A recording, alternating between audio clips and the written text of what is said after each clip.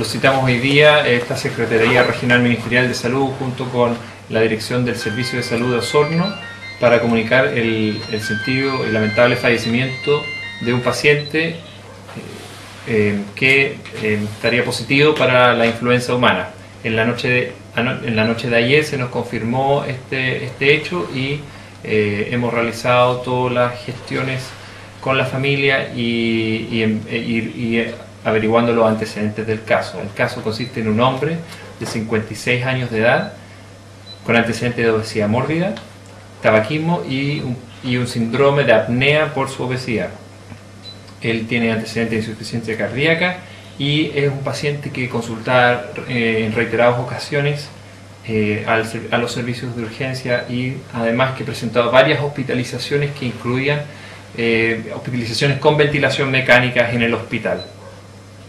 Él específicamente consultó el 1 de junio al servicio de urgencia del hospital base, ahí fue ingresado a la hospitalización del servicio de urgencia, donde se practicaron exámenes y eh, a las, eso fue a las 9 de la mañana y a las 18.50 de la mañana eh, de la hospitalización eh, en urgencia pasó a la hospitalización intermedio y posteriormente a las 20-30 horas a la hospitalización en cuidados intensivos, iniciando inmediatamente ventilación mecánica.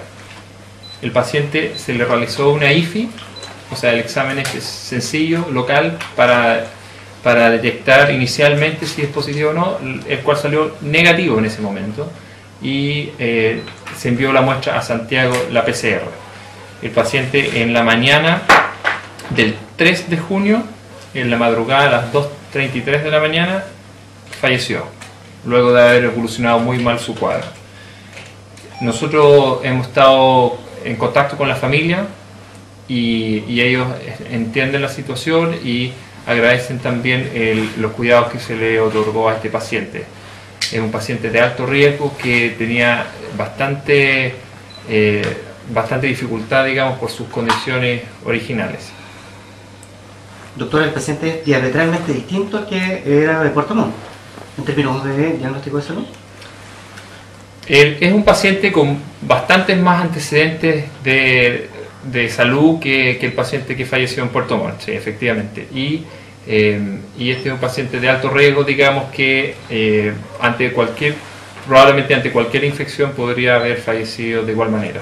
¿Este no es el mismo paciente que han trasladado a Santiago? No es el mismo paciente que íbamos a trasladar a Santiago. ¿Quieres agregar antecedentes del caso, Isabel?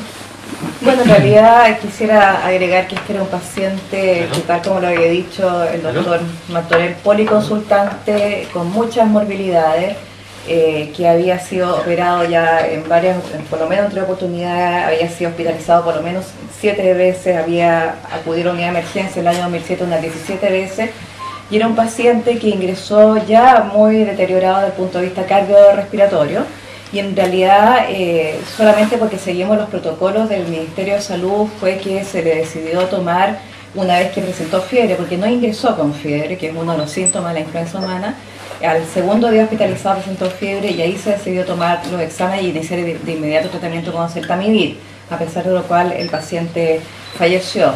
Eh, nosotros nos enteramos anoche, digamos, del resultado positivo de, su PCR, confirmándole la influenza humana. Eh, el paciente que ustedes preguntaban, el otro paciente, que es un paciente de 49 años, que está hospitalizado en la unidad de cuidado intensivo del Hospital Vaso Osorno, se mantiene grave. ¿ya? Él sigue hospitalizado, no tiene indicación de trasladarse.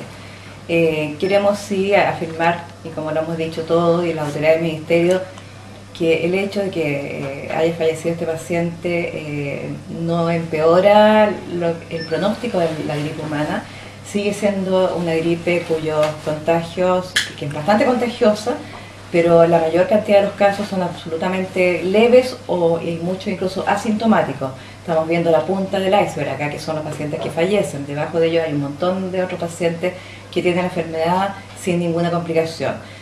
Entre los factores de riesgo, este paciente tenía muchos. Uno de ellos es su obesidad mórbida, ¿ya?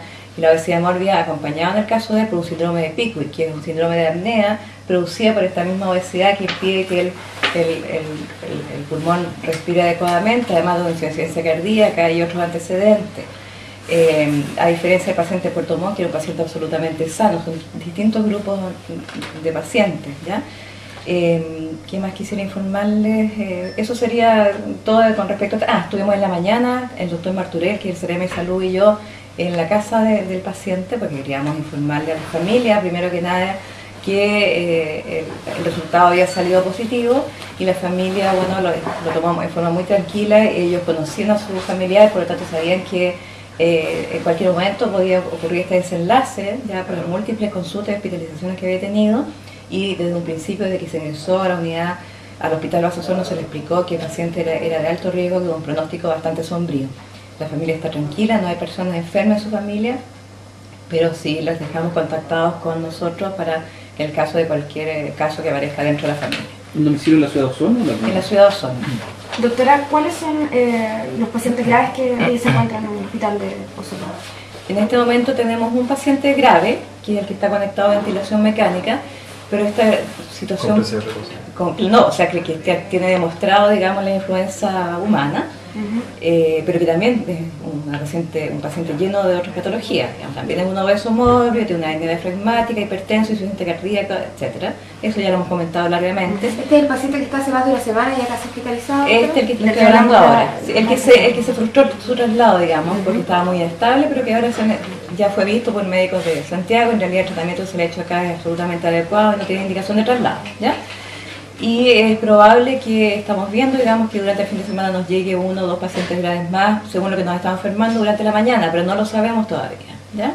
¿Cuál es la situación clínica de los hijos de esta persona de 49 años? Los hijos, los hijos también en su casa, están absolutamente recuperados, su esposa eh, absolutamente sana, no presentó síntomas. Los hijos sí hicieron influenza humana, pero se trataron eh, con el oseltamivir y están absolutamente recuperados y fuera de peligro. Doctor, yo quería consultarle, eh, ¿cuándo vamos a tener conocimiento de los avances de los expertos que están en Puerto Montt? Los expertos en, en, estos días hemos estado, yo, yo he estado trabajando con ellos, hemos estado trabajando en recopilar toda la información que se está generando eh, a partir de las bases de datos de todos los centros de salud, a partir de las de, de entrevistas en directo con los pacientes confirmados y en, en, entrevistas en profundidad con los médicos y los familiares de pacientes que han estado en estado de gravedad. Esto se ha, permitido también, está permitiendo comparar la evolución de la influenza el año pasado con este año, porque estamos tratando de entender si, si la situación que estamos viviendo acá en, en, la, zona sur del país es una situación particular o es simplemente eh, estamos viviendo primero una situación que otros lugares del país van a vivir de modo similar. Esta es eh, básicamente la, la pregunta que, que, estamos intentando resolver. Como ustedes saben, acá en, en, en, la región tenemos una mayor cantidad de casos totales confirmados por habitante. Y eso significa también que vamos a tener más pacientes graves y más, y más casos fallecidos como los que estamos viendo. Lo que no sabemos si esto se va a propagar al resto del país de igual manera o no. Y eso es un poco la pregunta que están tratando de resolver este comité de expertos, quien eh, se comprometió ante la prensa y ante la opinión pública de tener resultados preliminares esta semana.